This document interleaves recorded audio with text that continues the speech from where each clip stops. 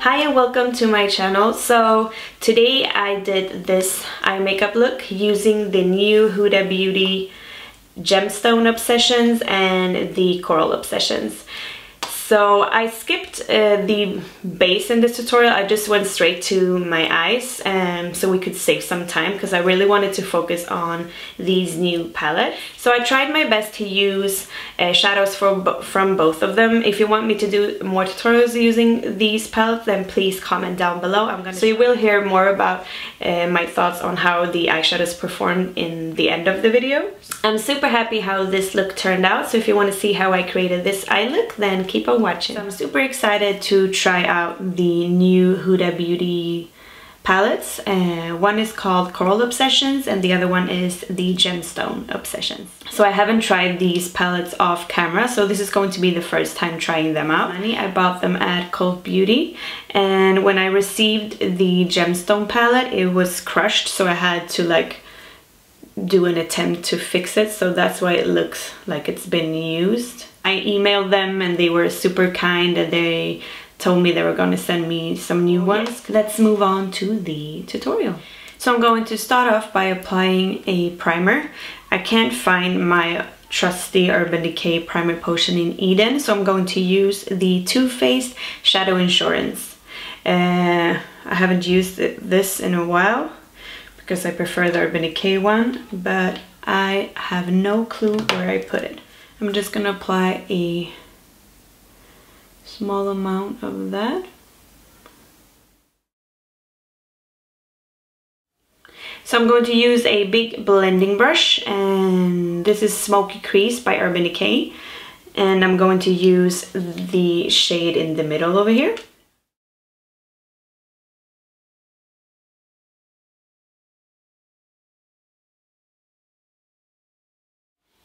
It's blending really nice. And I just want this to be a sheer wash of color. I don't want it to be too much. Moving on to the other eye. And I always like to drag my eyeshadow out because I like to elongate my eyes.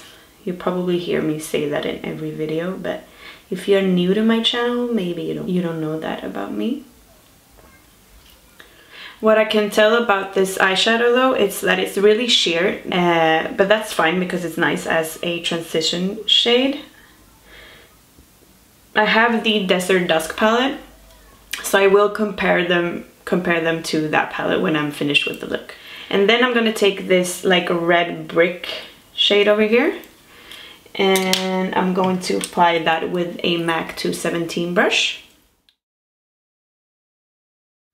But it's not the shade that I thought it would be. Like it's, it's actually lighter than it looks in the pan.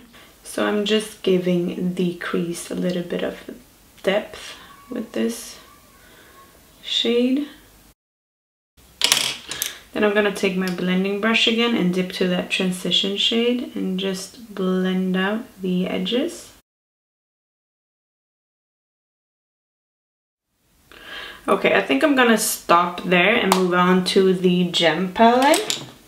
Gemstone palette. I'm already giving it some nickname.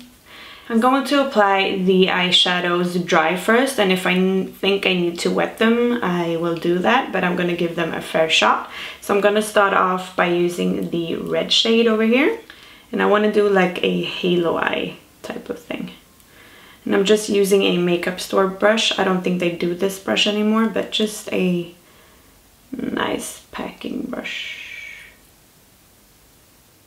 Um, okay, these shadows have a lot of fallout because I can see that they're really chunky and glittery, but I can imagine that these are good to apply with your fingers or wet so I have actually fallout over here and I want to clean it off before it sets into my skin. It's really soft to the touch, like when you, they're really like creamy. Yes, it does work wonder with your finger. Oh, nice. Oh, super nice when you pack it on with your finger.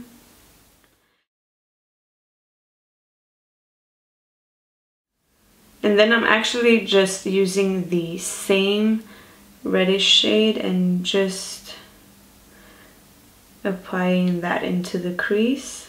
I'm gonna take the transition shade again uh, from the Coral Obsessions palette and just blending those edges.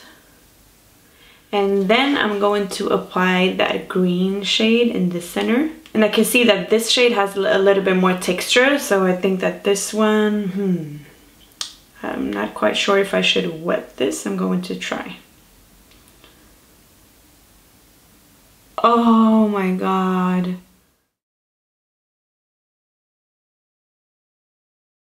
I am gonna wet it though for easier application. So I'm going to do the same on the other eye.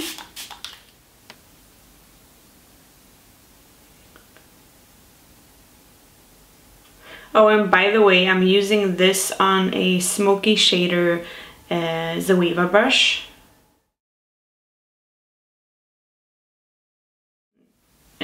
Sweet semi-sweet times 9 palette and I'm gonna use this burgundy shade over here just to give it a little bit of depth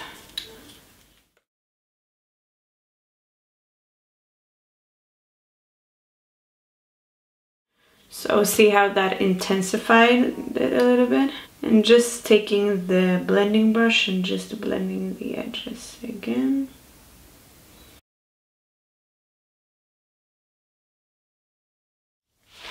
So now I'm going to move on to the lower lash line. So I'm first going to take this, the same MAC 217 brush and I'm just gonna squeeze it a little bit and whatever's left of that darker uh, cranberry shade or burgundy shade I'm just gonna apply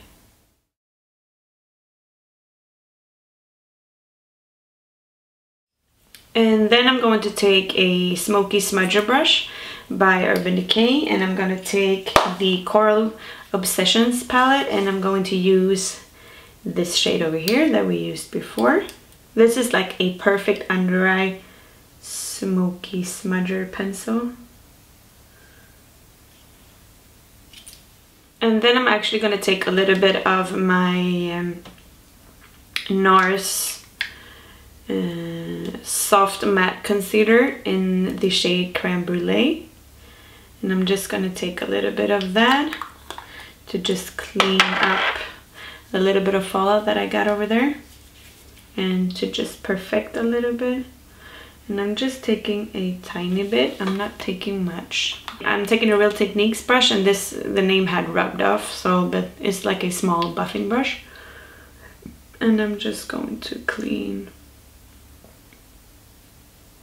under this area over here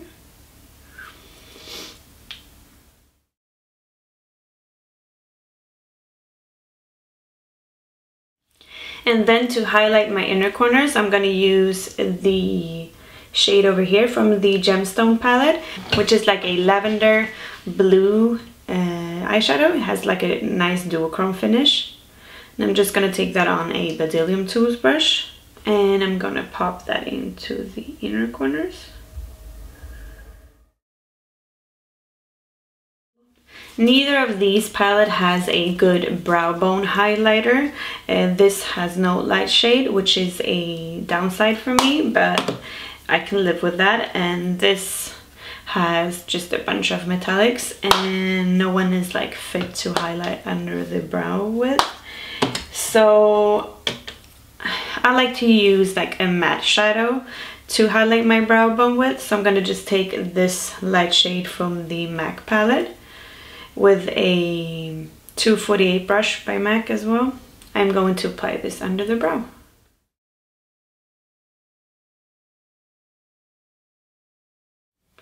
And this for me makes a huge difference.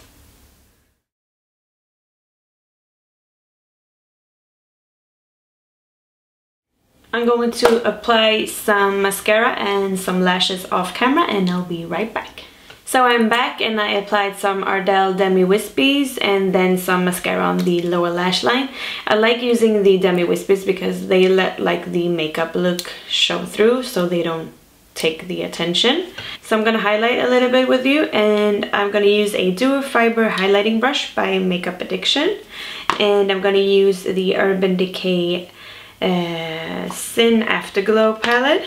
This has two blushes, one bronzer, and three highlighters. They're super nice. And I'm gonna use the shade called Sin today, which is also sold individually at Urban Decay. Oh, it's super nice. You don't need much. Like with a little goes a long way.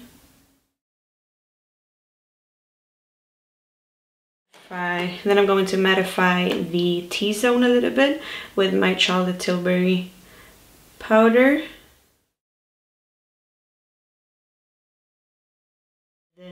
I've already set my makeup with All Nighter Setting Spray, but I just want to give it some dewiness, so I'm going to use the Quick Fix by Urban Decay, which is a prep spray and a hydrating spray.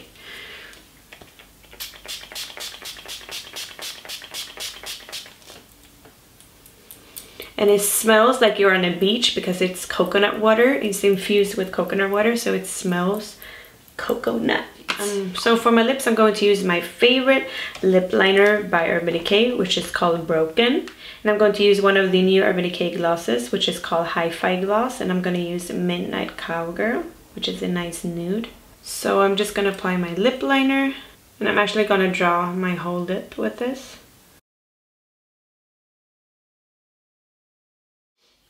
My lips are super dry at the moment and these lip pencils are the only ones that doesn't dry out my lips and they're waterproof. And then on top, I'm going to apply the Hi-Fi Shine Gloss from Urban Decay. These are new. They have a really nice one, a gold one. And I'm going to show you. Uh, over here, do you see that? super nice. This one is called Gold Mine. And then I have this one, which is SPL. This is my personal favorite, which is holographic. So they have like different types. They have like cream, holographic, sheer, metallic. So, and they are plumping as well and they taste really good. Oh, so nice. This lip gloss shade is perfect to use like on top of your on on top of your nudes to make them more nude, if that makes sense.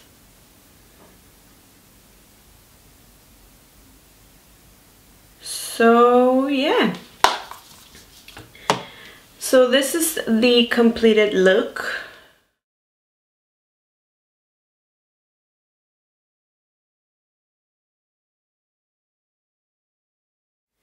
So this is the completed look. I just want to give you a quick like overview of of my thoughts and what I think about the palettes. I can't remember the price, but I think that they are around like 32 pounds because I bought them in pounds because I bought it at Cult Beauty. Um, but I think that they're great. I really like them. It's a really nice uh, package. You can see it's small, so it's it's good for travel. And for me as a makeup artist I do a lot of freelance. Then this is perfect to have in your kit. Uh, it doesn't take a lot of space. But so I do think that the mattes are better in the Desert Dusk palette than in the Coral Obsessions but that doesn't mean that I think that these are bad. Uh, I just think that they are a little bit more pigmented in the Desert Dusk palette.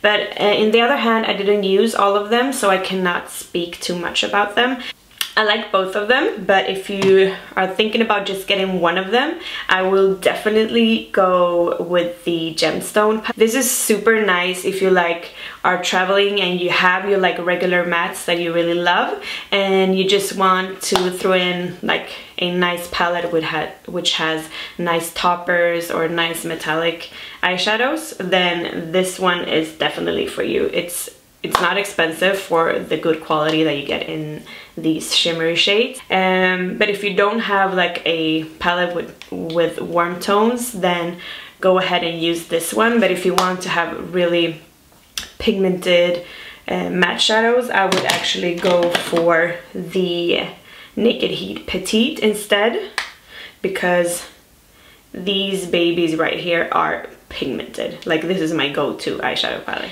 So I'm pleased with the look and I hope you liked it.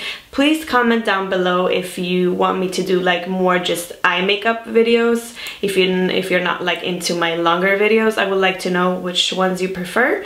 And don't forget to hit that bell so you don't miss any of my videos and subscribe. That would mean the world to me. And I'll see you in my next one. Bye!